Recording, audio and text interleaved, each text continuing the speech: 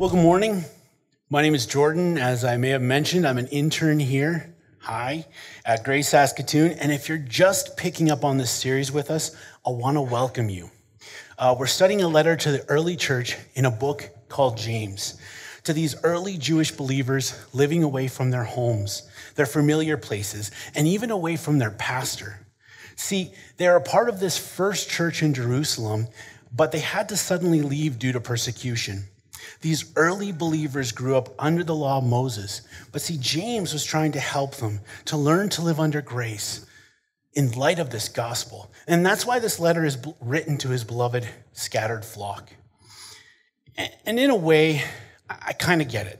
I say I kind of get it. Where these believers are coming from. See, where I went to school, there was a lot of rules among many. And one that stuck out to me was how our hair was maintained.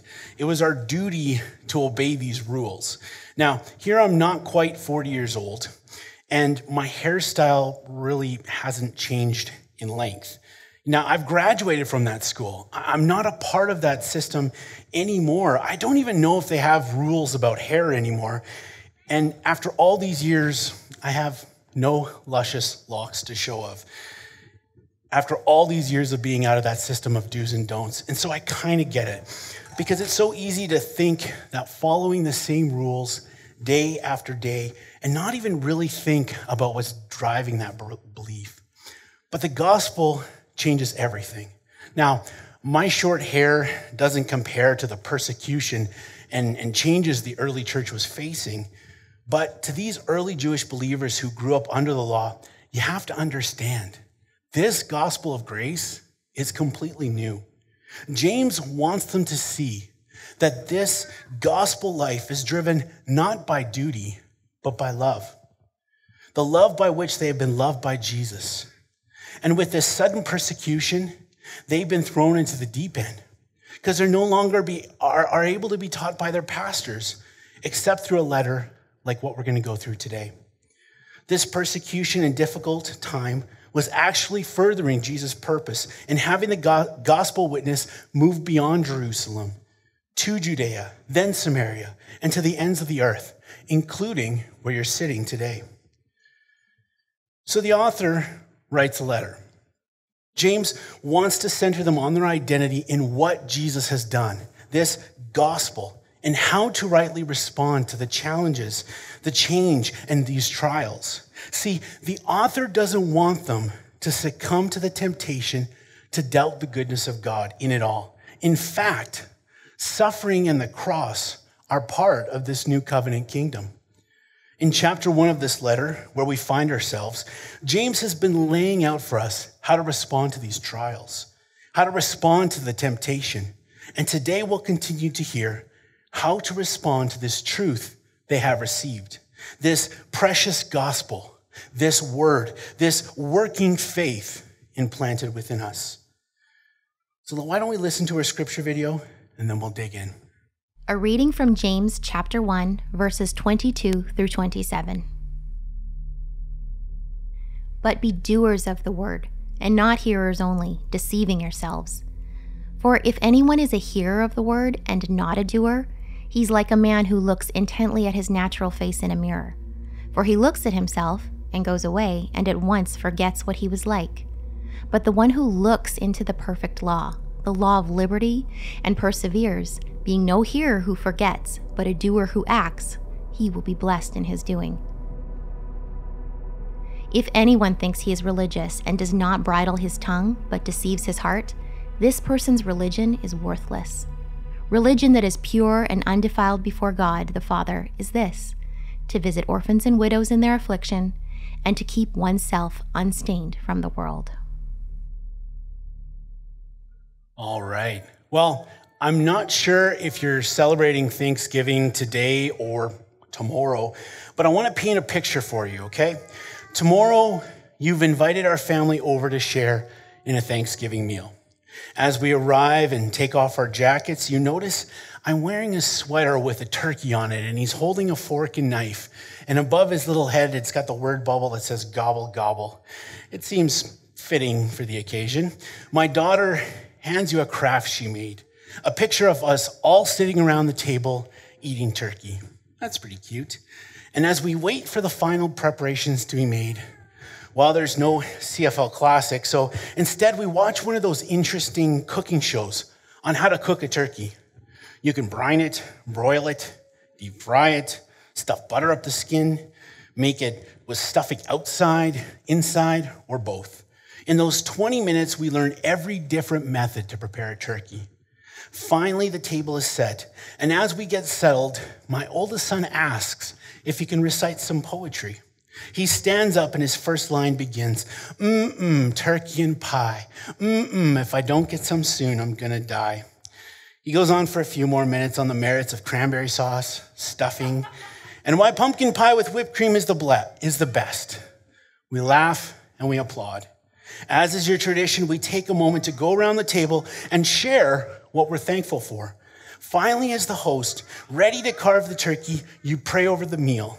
As you close your prayer with an amen, you notice I'm getting up from the table, but not just me in my turkey sweater. No, my whole family is getting up and we're going to the door. We're putting on our shoes and jacket. Thank you so much for having us over, I say. That meal smells so good. I look forward to when we do this again. And we walk out the door with the smell of that uneaten Thanksgiving dinner lingering in the air, you are in complete and utter shock. They didn't even eat the turkey, they missed the meal. Now, this, of course, would never happen. I know this for a fact, I know my children, but yet it happens in many churches each Sunday. People dress the part, their children make cute crafts.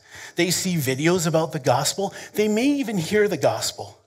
They follow the traditions expected in that particular setting. They might even say the words, Amen. But they miss the meat of the gospel. James is going to go on to warn us to not be hearers of what Jesus has done only. Obviously, you know, let's be clear, hearing is important, but he doesn't want it to stop there. So he describes the danger of being hearers only and calls us to be gospel doers of this word. This, this text is a check engine light for us all. See, trials expose what we really love and prioritize. But our response to this word, which is ultimately our response to Jesus, exposes what we believe is really true about the reality of this gospel. Sometimes what we think we believe or what we convince ourselves we believe is not what we really believe at the core of our being. We can deceive ourselves. And what we do exposes that reality. Now look at verse 22 if you have your Bible or your app, which is just a click away. But be doers of the word and not hearers only, deceiving yourselves. The author begins by encouraging us to live out this word we profess and not simply listen to it.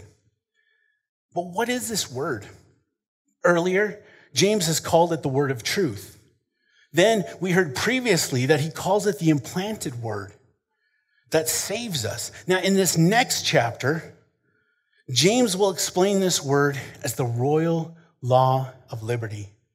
This word is the gospel the good news that Jesus Christ, God's Son, dies for our sin and rises again, forever triumphant over his enemies. So now there is no condemnation for those who believe, but only ever increasing joy in a new covenant love relationship with our Heavenly Father.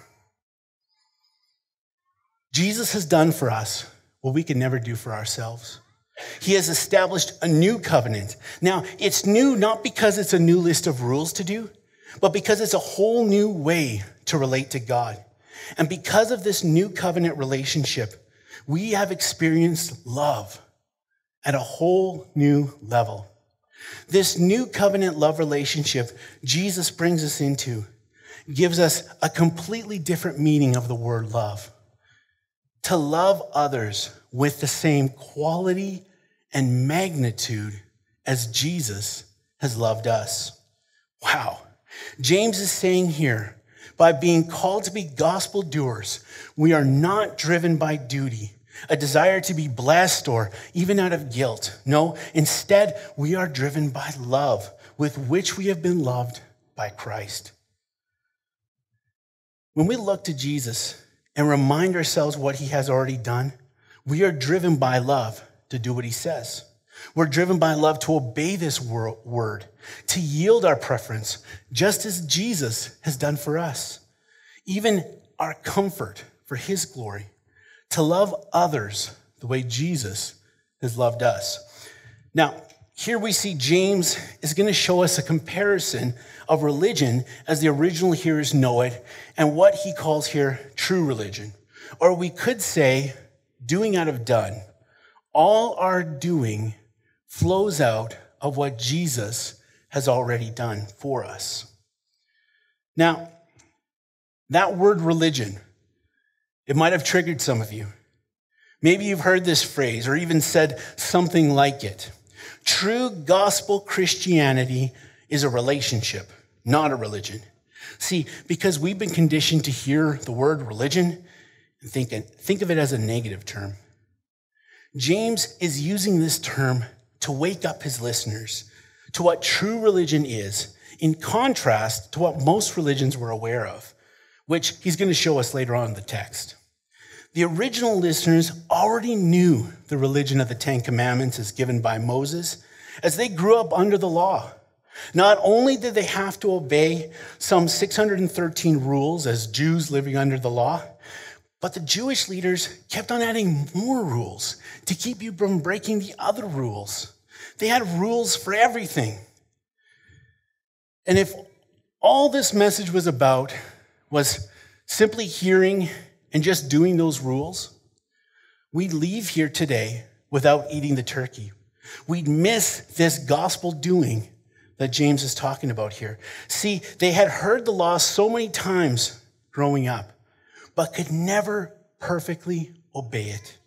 The law of Moses was about coming to God on God's terms. Well, who could do that? Certainly not me. But there was one perfect doer who did Jesus Christ, God's Son. He comes to live life on earth, fully God, fully man, and does what we could never do. He lives a sinless, perfect life. He willingly lays it down as a perfect sacrifice, and he rises triumphantly from the dead. He brings us all the way to God in this new covenant love relationship. Look, this is what James is saying in verse 22. I want you to be doers of this word out of what Jesus has already done. See, the religion of the original listeners knew demanded obedience to the rules but it wasn't driven by love. It, was, it wasn't driven by what Jesus has already done. But this true religion that James is going to show us is about true worship from the heart and not simply the lips. In the same way, we should want to be hearers of the word, but not hearers only. We should also want to honor God with our lips, but not our lips only. It's very possible to be religious and yet miss the incredible life changing reality of what Jesus has done this implanted word that saves us. Jesus put it this way These people honor me with their lips, but their heart is far from me. These people do the right things, they even say the right things, but the driving factor is not from a heart transformed by the love of Jesus. And James is saying that very thing here in verse 22. Look at verse 22 again. He warns us hearers only deceive themselves. That's why this type of religion, what the original hearers knew, is so deceptive because it knows the facts of what's true. But in the end, it misses the meat of the gospel.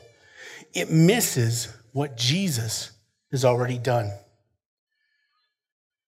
Knowing the grocery store has groceries doesn't take away your hunger. Knowing the bank has money in their vault doesn't make you rich. And only hearing facts about the gospel does not make one a doer of this gospel word. See, a doer becomes over time. Now, for time's sake, there's some scriptures on the screen. There's two verses there, but I want to look at the first one in John 14, 15. Look at that verse. By a strong sense of duty, a dash of religious guilt, and sheer personal willpower, we will keep his commandments.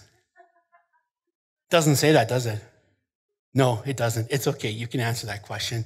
See, we will grow as gospel doers by looking at the perfect doer, Jesus, and his perfect and complete work in his life, death, and resurrection.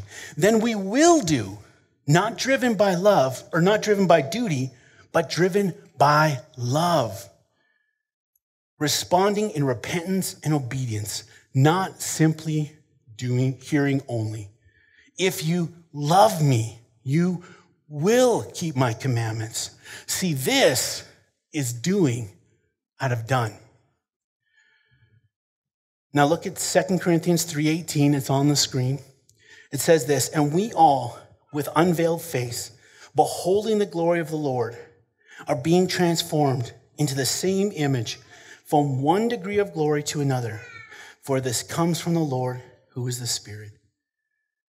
What transforms us into the image of Jesus, growing one more degree to another?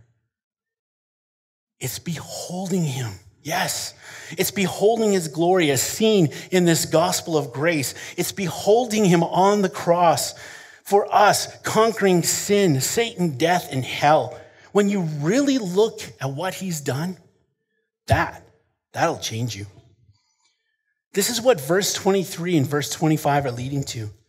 Take a look. For if anyone is a hearer of the word and not a doer, He's like a man who looks intently at his natural face in a mirror. For he looks at himself and goes away and at once forgets what he was like. Now, mirrors don't look the same as they do now, but their function was always the same, and, and they had to be maneuvered in the light for the image to be seen. Likewise, we can hear the gospel we can know where all the right verses are. We can even have a, a, deep knowledge of the Bible. And possibly we can even hold our own in a theological debate. But what we really believe is exposed by our lives or what we do after we're done looking in this mirror. We can come into this theater Sunday after Sunday, hear the word, be convicted at that very moment, and even take really, really good notes. But on the ride home, we can fall back into our old patterns of not doing what has convicted us even moments earlier. It says in verse 24 that he looks at himself and goes away and at once forgets what he was like. See, the hearer can be shown the wonders of the gospel. He can be challenged. He can be convicted with the word. He can be shown and shown the biggest and most transforming truth in Jesus. But look in your Bible, it says this at once, it says. Maybe it's lunch. Maybe it's a new show on Netflix. Maybe it's a game he wants to play. He forgets. Now, we all forget. But this seems to be intentional because it remains at an intellectual level. And so the love and grace shown to him in the gospel of Jesus does not transform his heart. But look at verse 25. This is the good part. This is an invitation to change. But the one who looks into the perfect law, the law of liberty. The word looks means to stoop down. There's intention in stooping down. It's humble. It's careful. It's with meekness, as we saw in verse 21. This is a whole new law. Nothing like the old covenant where you had to do in order to be blessed or you had to do in order to avoid the curse. No, this law of liberty is true freedom established by Jesus. This perfect law is us doing out of what Jesus has done for us. James tells us that when we look at this perfect law, we will see our sinless Savior that was broken for our sin, and that now brings us into fellowship with God. This God the Father in a new covenant love relationship. He gives us a new heart with a new law to follow, a perfect law, a royal law of love that frees us from our natural self orientation and points us to Jesus. See, this is true freedom. Freed from being absorbed with self, we're now freed to be doers as a loving and grateful response because we have been loved. We do out of what has been done.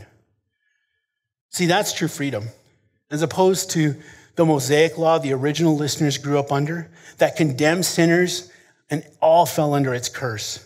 God the Father credits us with his Son, Jesus, perfect obedience and enables us to obey his word by the power of the Holy Spirit. This is a whole new and different way for a Christian to live. A doer who now does out of love for all that Jesus has done for us in the gospel. That's doing out of done. Verse, verse 25 continues. It says, and he perseveres.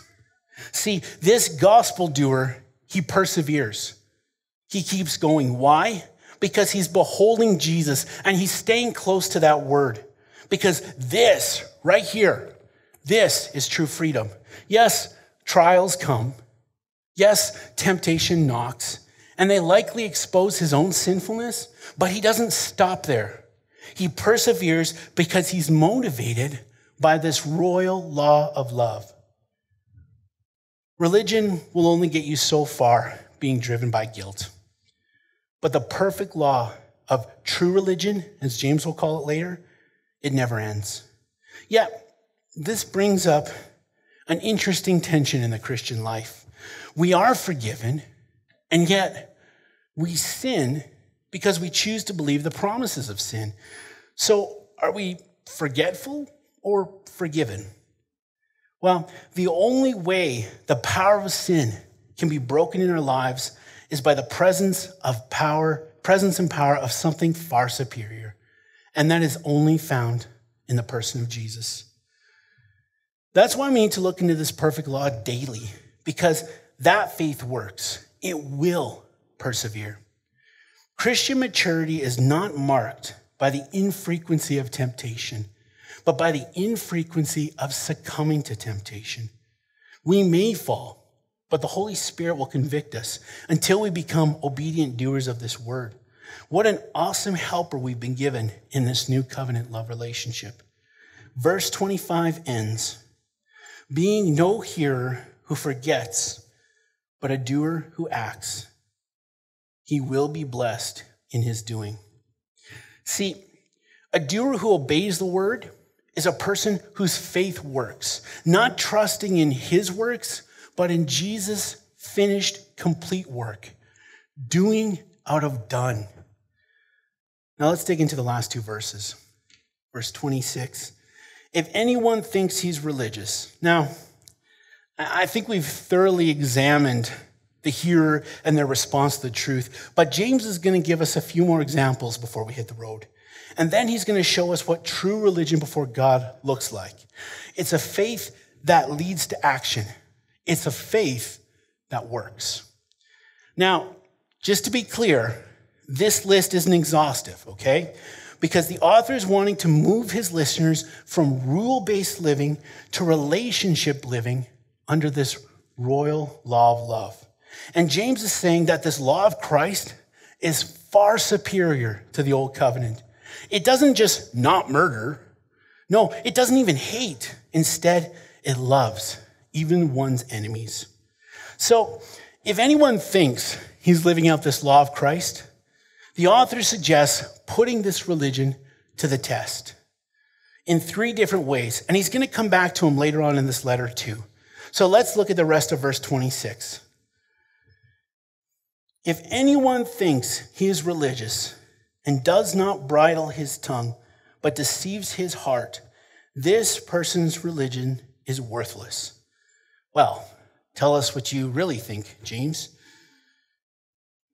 Martin Luther said this A religion that gives nothing, costs nothing, and suffers nothing is worth nothing. Here we see the opposite of hearing isn't talking because hearers can already do that. When we speak, we expose what's really in our hearts. And as we live, our work expose what's really in our hearts. So a heart truly humbled by this gospel will lead to a, a humility of having the gospel do its work in us. A humility that'll be expressed in our speech, online, on the phone, in text, or in person. The mark of a doer, one truly living out this experience of the gospel, is bridling that tongue of ours, restraining it in silence, and controlling it in gracious, gracious speech when required. Simply put, one who has experienced the grace of Jesus is gracious to others. Our tongue will be bridled, James says, like a horse is bridled for the, uh, for the control of the rider. So we need the one who bridled his tongue to bridle ours. So doing the word is yielding the reins of our tongues into the nailed, scarred hands of our master and savior, Jesus. Listen to what Isaiah says about Jesus. This will be on the screen. He was oppressed and he was afflicted, yet he opened not his mouth. Like a lamb led to the slaughter, and like a sheep before its shear is silent, so he opened not his mouth. And this is exactly what happens. Jesus stands before the authorities and he accepts our guilty sentence in silence. Did you catch that? He was silent because our lips have already given more than enough evidence of our guilt. And yet, he bore the sin of my lips and my tongue on the cross, silent as my perfect offering, my lamb led to the slaughter. He knew exactly what he was doing each time he stood before those authorities, and he silently accepted the sentence of my guilt. No one took his life from him. He humbly laid it down of his own accord. This is what Jesus has done. How awesome. You ready for verse 27? Okay, two of you are, so that's good. The rest of you are in for a ride. Verse 27 says this Religion that is pure and undefiled before God the Father is this to visit orphans and widows in their affliction, and to keep oneself unstained from the, the world. Religion that is pure and undefiled, truly living, truly driven by love and for love of Jesus before God the Father is like unprocessed ore. Now, I did a tour of a potash mine once, and I can tell you, sure enough, that that unprocessed ore has junk mixed in with it. But it contains the precious raw materials that they're looking for, as it's pure and undefiled. Religion that is pure and undefiled before God the Father is a faith that leads to action. It's a faith that works. Not just bringing up ore from the earth, but processing it so it's useful, profitable, beautiful. The first way that faith leads to action is that it leads to a bridled tongue. The second way that faith leads to action is that it leads to visiting orphans and widows in their affliction. Now, what does that mean? The word visit in the Greek is this, and forgive me if I don't pronounce this wrong and you're a Greek speaking person here. Episkeptistai. Epi meaning over, and skeptistai to inspect, to go see, to visit. So episkeptistai is to look upon, to visit, to go see, to exercise care for, to exercise oversight. It's where we get the term overseer or shepherd in the flock of God in the church. And in fact, this is a qualifying characteristic of leaders in the church. They look out for the, the flock, they care for and take care of and have concern for the flock. At this point, you might be tempted to, to think that it's easy to say, well, this visiting is only a function of leadership. But there's a problem with that. And it comes at the beginning of verse 1. Take a look if you have your app or your Bible open to it. Notice there are no disclaimers. Part of this book are only there for the overseer and pastor of your church. I don't see it. It's not there. To my beloved bivocational church planter, pastoral apprentice, and the interns. Do you see it? I don't. It actually says, to the 12 tribes in the dispersion, greetings. Count it all joy, he continues, my brothers and sisters. The author calls us into gospel family relationships with one another, looking out for one another. He says it starts here in the church with us taking care of our widows and orphans, and then it may well spill into the streets. When you really believe that, when you truly hear it, as James has been saying, when you've been an orphan and Jesus has rescued you and brought you into his family as a full heir, you'll have a heart for orphans because you'll know what it's like to be one. We know what it's like to be left alone, to lose our loves, as momentary as they may be, to become a spiritual widow, and then to have the best spouse step in and take care of us. Jesus does for us what we could never do for ourselves. And in doing so, we're now free to do for our gospel family what Jesus has done for us, doing out of done. The end of verse 27 says this and to keep oneself unstained from the world. The first way that faith leads to action is that it leads to a bridled tongue. The second way that faith leads to action is that it leads to visiting orphans and widows and other members of the church family in their affliction. And it may even spill over to others. The third way that faith leads to action is that, that it leads to a holiness that isn't only public. Why is that? Well, because the world's way of doing things is to do something and make it about themselves. We humble brag online. We virtual signal through hashtags. We Instagram our practical works for the likes of strangers. But James is careful not to give the impression that a religion that's pleasing to God consists only of outward acts of practical compassion or social action. Yeah, the world is capable of acts of practical compassion, but the heart motivation is often self. Not so in the family of God, or at least it shouldn't be. Our response to this word should be doing out of what Jesus has already done in his perfect life, death, and resurrection. Doing out of what has been done. And it starts right here in our gospel family. How we love one another, how we forgive one another, how we speak to one another, how we visit the afflicted in our gospel family as Jesus has visited us, as we follow his example in how we live in our lives, even when no one is looking. This is God's people reflecting his father, our, their father's nature in everyday life for his glory.